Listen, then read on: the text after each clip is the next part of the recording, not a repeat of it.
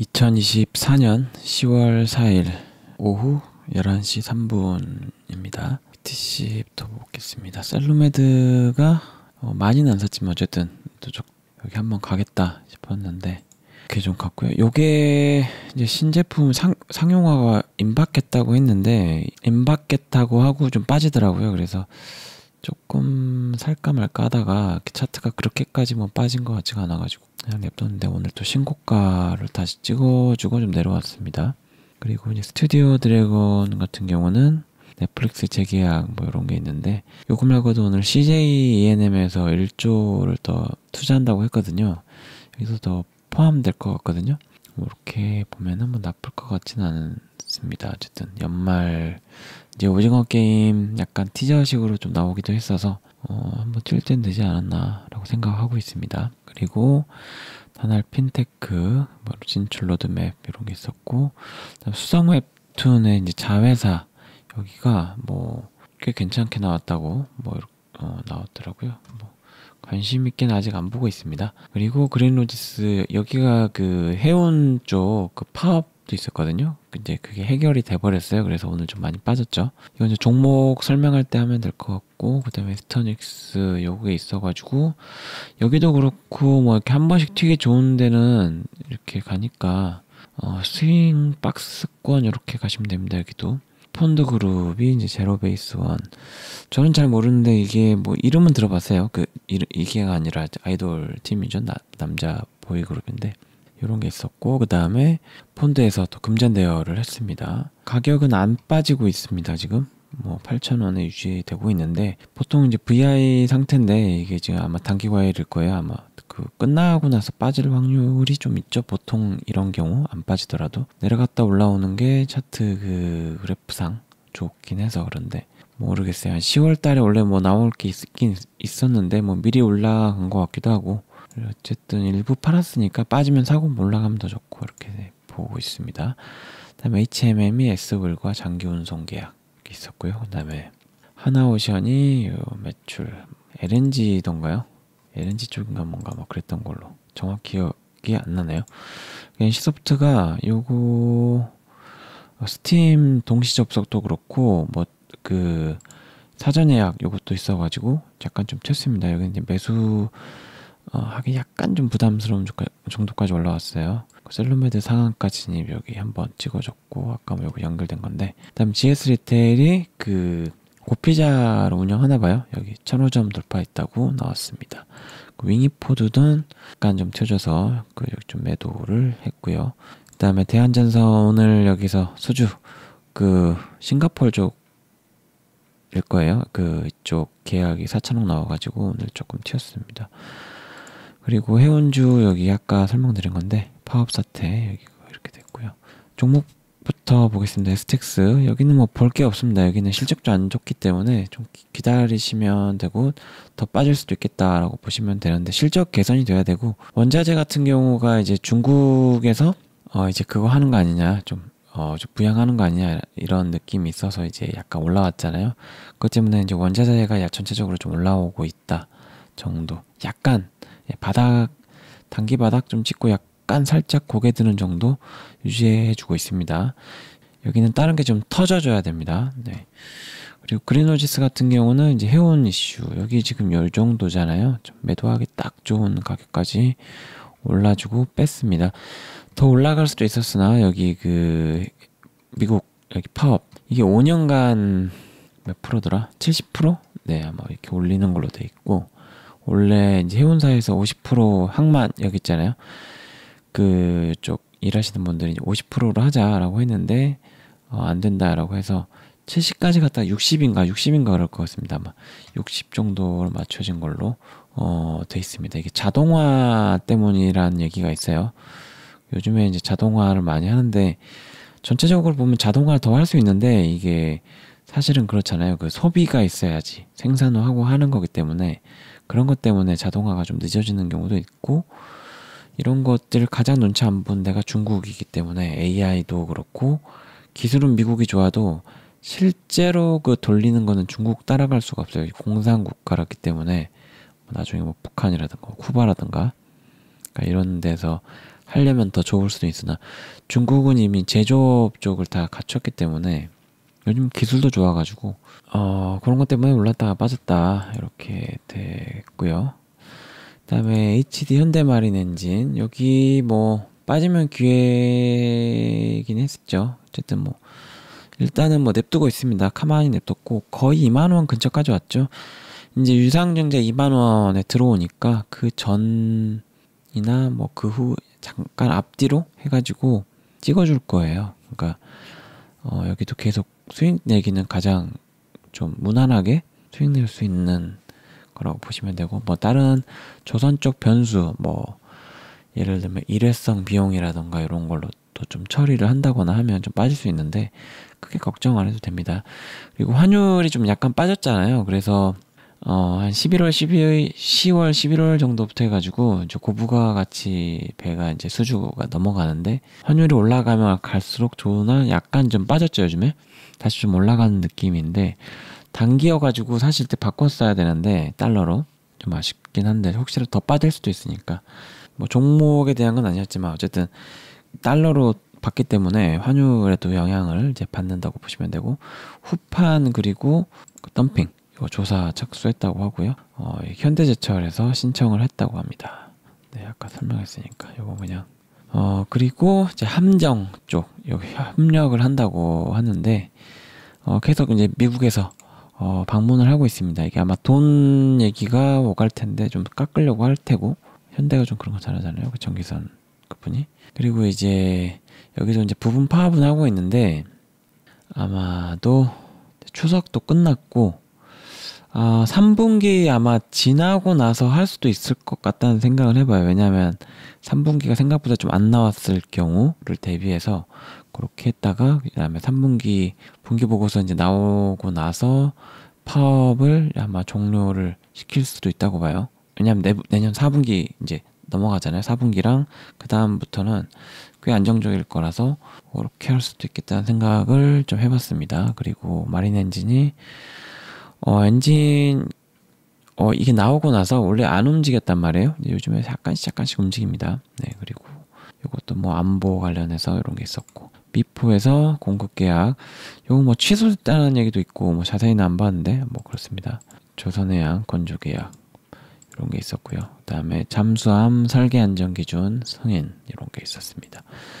뭐 차트로 보면은 뭐뭐 뭐 아래에서는 사면 되는 그거 말고는 뭐 설명할 게 없을 것 같아요. 그리고 뭐 올라가면 단기 악재가 될 수 있는 그 새로 유증이 나올 때 사실 그 얼마 안 되거든요. 8천만 원인가 밖에 안 되는데 그거 나올 때 이제 사모펀드에서 더 던질 거냐 말 거냐 요게 아마 결정될 것 같거든요. 3분기 4분기 내로 아마도 아 그리고 민주당에서 그 금투세 얘기 요게 있는데 요게 어떻게 되는지 모르겠습니다. 뭐 사모펀드에서 아마 그거 보고 결정할 수도 있거든요. 어, 사모펀드 쪽은 사실 금투세에 대한 크게 뭐 그런 게 없는데 좀 디테일하게 나올 수도 있을 것 같아요. 그래서 그거에 따라서 좀 변수가 좀 있을 수 있다. 이제 빠지면 뭐 기회니까 뭐 걱정하실 필요는 없습니다. 뭐 그 사람들 걱정해 줄 필요는 없으나 이제 그 물량이 나오면 단기 하락이 나올 수도 있으니까 그거 이제 참고하시면 됩니다. 이렇게 HMM 여기도 이제 하온 여기 끝나가지고 파업이 사실 이게 좀 컸는데 그리고 이제 유가가 약간 보면은 어 이, 이스라엘도 공습을 또 한 것 같은데 그거 좀 의외로 좀 조용한데 이란 석유 쪽을 폭파한다는 얘기가 있거든요. 근데 그거 하면은 미국 대선 그 해리슨 질 수도 있어요. 그래서 막을 겁니다. 이거 하면은 아마 선거 글쎄 아무튼 좀꽤 복잡한데 어쨌든 이스라엘이 좀 이상해요. 어, 좀 자기 권력을 위해서. 그리고, 어, 유니슨, 어, 여기는 이제 800 찍어주고 내려왔어요. 800 찍어주고 생각보다 좀 더 많이 올라오긴 했는데, 아, 네, 어떻게 될지 모르겠습니다. 뭐, 다른 호재 뉴스 나오면 또 올라가겠죠. 여기는 뭐, 어, 어쨌든, 미 대선, 어, 전에 하루 이틀 전에 좀 작업 좀 해볼까도 좀 고민 중에 있어요. 네. 증시가 전체적으로 빠질 확률이 좀 있거든요. 그래서 많이는 안 살 거예요. 많이는 안 살 거고 좀 밑으로 내려갔을 때 800원 다시 노리고 정리할 거 한번 약간 좀 어, 살 예정입니다. 작업을 좀 해, 하긴 해야 돼서 그리고 대한전선 여기는 어, 오늘 이제 수주가 터졌는데 싱가폴 쪽에서 이제 전력 이쪽 그 공급 계약 들어간 것 같아요. 파워 케이블 뭐, 뭐 그런 게 있네요. 뭐 그래서 여기가 오늘 좀 간만에 좀 많이 올랐습니다. 네, 그랬고 다, 다른 뭐 자세한 디테일은 잘 모르겠습니다. 네, 그리고 SM 라이프 디자인 어 1,400원에서 잘 안 올라가죠. 여기 SM 오늘 전체 SM 엔터는 약간 오늘 올랐다고 뉴스 떴는데 한 3, 4% 여기 안 움직인 걸로 봐서 그냥 단일 이슈로 간 것 같아요. 거기는 어 여기도 좀 많이 빠지면 살 건데 뭐 이 정도면 사기 약간 좀 애매해가지고 아무것도 안 하고 있습니다. 네. 뉴스가 없어요. 그 김범수 씨가 11월인가 12월에 석방이 나올 수도 있어서 그 이후에 좀 어, 뭐 준비됐던 게 뭐 나올 수도 있습니다. 뭐 오너리스크 이런 게 있는데 감옥 갔다고 뭐 다 취소되고 이런 거는 진짜 우리나라 좀 특징인 것 같아요. 어, 할 수는 있는데 안 하는 것 수도 있고 뭐 그렇습니다. 그리고 펄어비스 어, 생각보다 안 빠지고 있습니다. 안 빠지고 있어가지고 그냥 구경 중입니다. 여기 신작이 나올 거기 때문에 이제 올라갈 거예요. 예, 올라갈 거기 때문에 좀 하락 나올 때 노리시면 될 것 같습니다. 다음 GS 리테일 좀 많이 빠졌죠. 이 정도면 그래도 뭐 좀 담아봐도 될 정도는 되는데 2만 원 아래가 그래도 조금 나을 수도 있어요. 여기 증시 전체적으로 좀 하락 나오면 빠졌다가 여기는 좀 경기 침체기에 편의점 쪽 이슈는 좀 괜찮을 수 있어가지고 어 그런 거 잘 보시면 되고 그 다음에 무슨 콜라보 같은 거 많이 하는데 뭐 이상민 씨라던가 몇 명 또 있더라고요. 그 제가 얼마 전에 또 GX 가서 좀 뭐 먹을 거 좀 사왔는데 뭐 펜스토랑 뭐 관련해서 콜라보도 있고 뭐 이것저것 많이 하, 이것저것 하더라고요. 맛있는지 모르겠는데 저는 네 아무튼 이것저것 많이 하더라. 네 그런 게 있습니다. 키이스트 어 도통 알 수는 없으나 뭐 거래량 최근에 약간 좀 어 튀었습니다. 여기는 어 저번 주인가요? 그 공급 계약 나왔잖아요. 그게 나와가지고 좀 튄 건데 이러다가 또 뭐 내려갈 수도 있으니까 뭐 대기하시면 되겠고 연말 정도에 그 미디어 쪽 오르면서 전체적으로 약간 좀 올라갈 수 있거든요. 이제 그런 거 정도 기대해 보시는 게 좋, 좋을 것 같고 텐트폴 드라마를 찍어놓고 아예 그냥 묻어버리죠. 이것도 아마 오너리스크 약간 거기에 묻혀가는 느낌인데 기다려야 될 것 같습니다. 그 윙이푸드 여기는 이제 2,000원, 2,050원, 2,070까지 갔는데 2,050에 좀 팔았고요. 어, 좀 다시 빠져가지고 약간 샀어요. 그러니까 2,050에 많이 판 것도 아니고 원래 더 팔아야 되는데 어 그냥 안 팔았어요. 거의 다 왔기 때문에 더 사버리자라는 마인드로 지금 하고 있고 그리고 IPO 쪽 그 이제 사이트 쪽 찾아봤거든요. 그 정토방에 올라와 있길래 한번 봤는데 다음 주 월요일 날 어 그 기대되는 날짜 그러니까 꼭 그 결과 나오는 게 아니라 월요일로 기대된다. 영어로 expect라고 해서 이제 그 기대되는 날짜는 그 정도인데 그 발표는 어 그 주에 그러니까 다음 주 중에 나올 거다라는 얘기가 어 거기 나와 있었어요. 뭐 또 delay 될 수도 있죠. 또 delay 될 수 있는데 빠르면 월요일, 그러니까 기대되는 날짜는 월요일이라고 나와 있습니다. 그리고 이제 늦어지면 이번 다음 주인데 되겠죠. 되겠죠. 뭐. 안 되면 뭐 또 기다려야죠. 기다려야 되는데 이번엔 되지 않을까 생각이 있습니다. 차트를 보면 좀 올라가고 있어요. 뭐 계속 뭐 빠지는 것 같이 보여도 바닥이 계속 올라가고 있습니다. 여기 이렇게 보시면 이렇게 쭉 천천히 올라가고 있는데 121선을 툭툭툭 치면서 내려갔다 올라갔다 계속 반복하면서 바닥은 어쨌든 계속 올라가고 있습니다. 어쨌든 기대감이 있고 그다음에 이제 거의 다 왔잖아요. delay 또 될 수는 있으나 거의 다 왔기 때문에 바닥이 점점 단단해지는 느낌은 있습니다. 다음 주 결과 나오면 조금 팔 텐데 조금 글쎄 현금이 조금 있긴 있거든요. 그래서 좀 더 사야 되나 말아야 되나 고민만 하고 있습니다. 일단 지금 많이 샀어요. 너무 많이 사가지고 그냥 뭐 구경 중입니다. 네, 발표 나올 때까지 다른 건 없어요. 뭐 그냥 기다리시면 됩니다. 스튜디오 드래곤 여기는 CJENM 쪽에서 오늘 1조 정도 투자를 더 한다고 해가지고 어, 더 갈 것 같아요. 그리고 이제 넷플릭스랑 이제 재계약 이슈가 있는데 이제 가장 중요한 거는 어, 오징어 게임 이거 얘기가 나올 수, 때 미디어 쪽 전체적으로 좀 괜찮을 것 같아서 어, 전에도 말씀드렸지만 빠질 때 좀 사놨다가 좀 튈 때 좀 정리해서 평단 작업이라던가 뭐 수익을 내고 좀 정리한다던가 이런 게 나오시면 될 것 같습니다.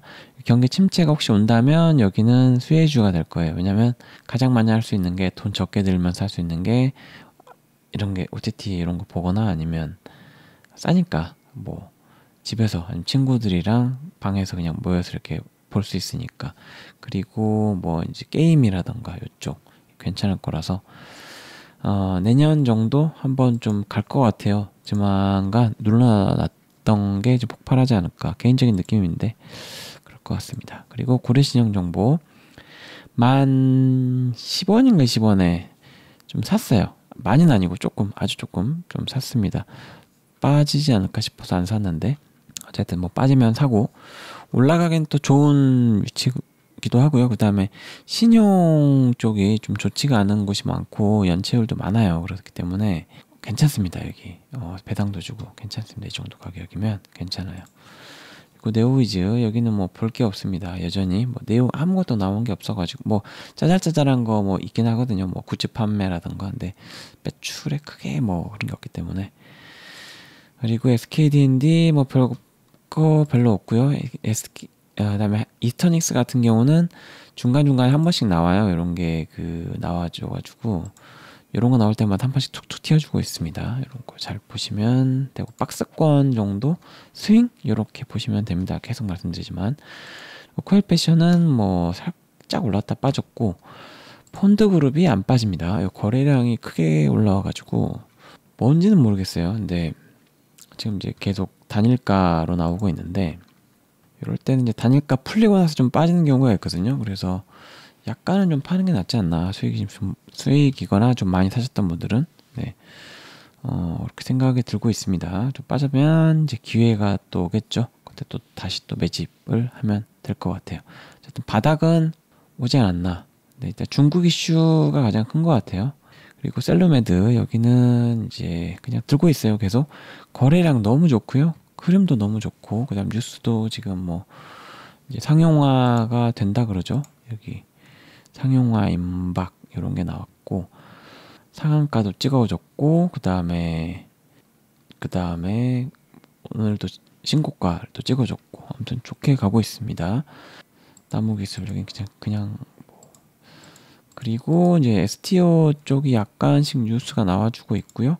다음에 YG 쪽은 아직 안 빠지고 있는데 여기 좀 빠져주면 괜찮을 것 같아요. 여기 매출 내년부터 괜찮을 것 같은데 경기 침체랑 상관없이 뭐 투애니원까지 나오게 되니까 좀 괜찮다고 봅니다. 그리고 수성 웹툰 여기는 뭐 자회사 뭐 웹툰 쪽 매출이 좀 괜찮다고 하고 그 다음에 JYP도 약간 좀 올라왔죠. 어 그리고 NC소프트는 이제 매수하기는 약간 좀 부담스러운 정도까지 올라왔어요 단기로. 이때 제가 좀 많이 사도 됐다 좋다고 했죠. 뭐 빠질 만큼 빠진 데는 괜찮아요. 여기 한 10몇만 원 정도에서 항상 좀 바닥인 경우가 많았습니다. 해운 쪽 전체적 어 전체적으로 좀 빠졌어요. 그러니까 아까 파업 이슈 그리고 어 포스코 같은 경우는 이제 후판 이슈가 있는데 중국 관련해서 뭐 뉴스가 나오게 되면 단기로 좀 올라갈 수는 있습니다. 조선 쪽은 뭐, 뭐 무난하게 네, 되고 있고요. 하이브가 18만 원 정도까지 좀 대충 17, 뭐 18까지 왔는데 어, 좀 빠지면 여기도 괜찮습니다. 어, BTS 나올 거니까. 거기가 뭐 뉴진스 뭐 다른 데가 상관이 없어요.